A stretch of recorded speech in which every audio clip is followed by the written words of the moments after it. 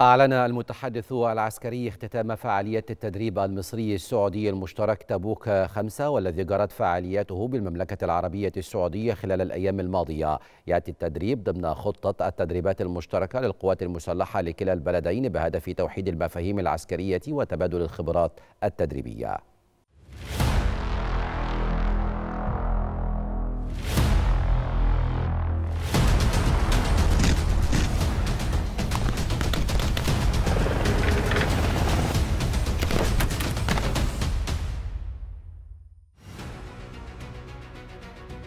اختتمت فعاليات التدريب المصري السعودي المشترك تبوك خمسة والذي شاركت في تنفيذه عناصر من المشاة والمدرعات والقوات الخاصة لكلا البلدين والذي جرت فعالياته بالمملكة العربية السعودية خلال الأيام الماضية ويأتي ضمن خطة التدريبات المشتركة للقوات المسلحة لكلا البلدين الشقيقين بهدف توحيد المفاهيم العسكرية وتبادل الخبرات التدريبية.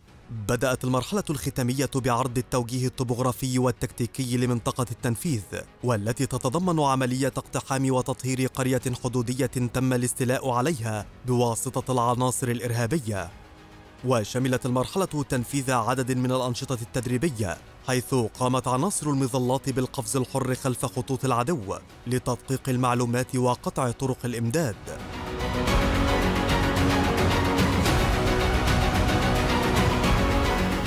ونفذت عناصر المشاة الميكانيكي والعناصر المدرعة الحصار الخارجي للقرية وقامت القوات الخاصة لكلا البلدين بتنفيذ الاقتحام العمودي وتطهير القرية وتحرير الرهائن.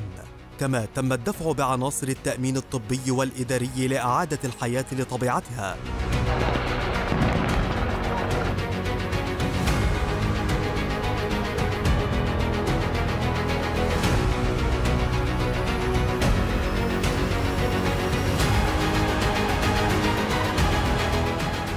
أعقبه اصطفاف لعناصر من القوات المشاركة في التدريب وعزف السلام الوطني لكلا البلدين. وشاد قائد المنطقة الشمالية الغربية السعودية بالمستوى المتميز والجهد المبذول خلال مراحل التدريب وقدرتهم على تنفيذ المهام المطلوبة بكفاءة ودقة عالية. موجها الشكر لجميع العناصر المشاركة في التدريب. وألقى قائد القوة المصرية المشاركة في التدريب كلمة نقل خلالها تحيات وتقدير السيد الفريق أول محمد زكي. القائد العام للقوات المسلحة وزير الدفاع والإنتاج الحربي والفريق أسامة عسكر رئيس أركان حرب القوات المسلحة مؤكدا على أن خروج التدريب بالمظهر المشرف والمستوى اللائق هو نتاج للجهد المتواصل والتدريب المستمر على مدار الأيام الماضية مما يؤكد قدرة القوات على تنفيذ عمل جماعي مشترك بدقة وكفاءة عالية.